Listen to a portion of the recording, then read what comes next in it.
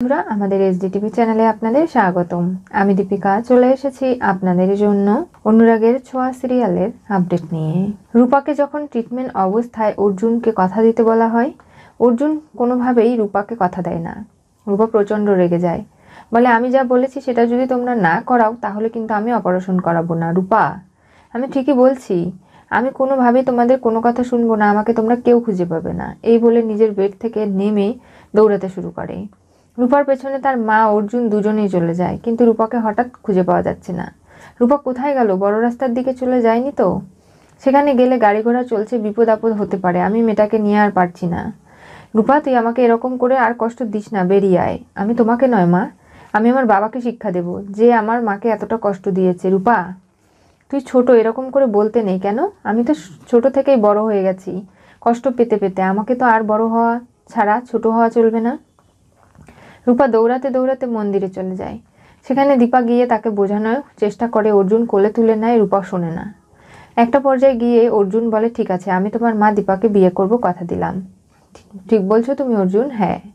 কিন্তু আমার মা তো কথা দিচ্ছে না, তাহলে আমি কি করব? তাই বলছি যে, আমার মা যতক্ষণ কথা না দেবে, আমি ঠাকুরের পা প্রতিজ্ঞা করছি।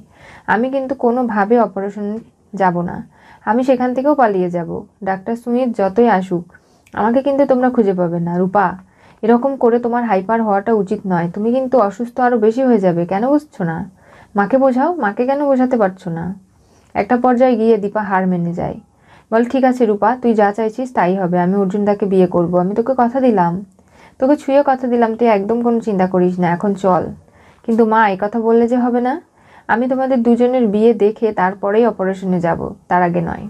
তোমরা কি ভেবেছো? আমাকে কথা দিয়ে পাঠিয়ে দেবে, তারপরে আর সেই কথা রাখবে না সেটা এবার আর হচ্ছে না। রূপার কথায় খানিকটা দীপা দ্বিধাদ্বন্দ্বে পড়ে যায়।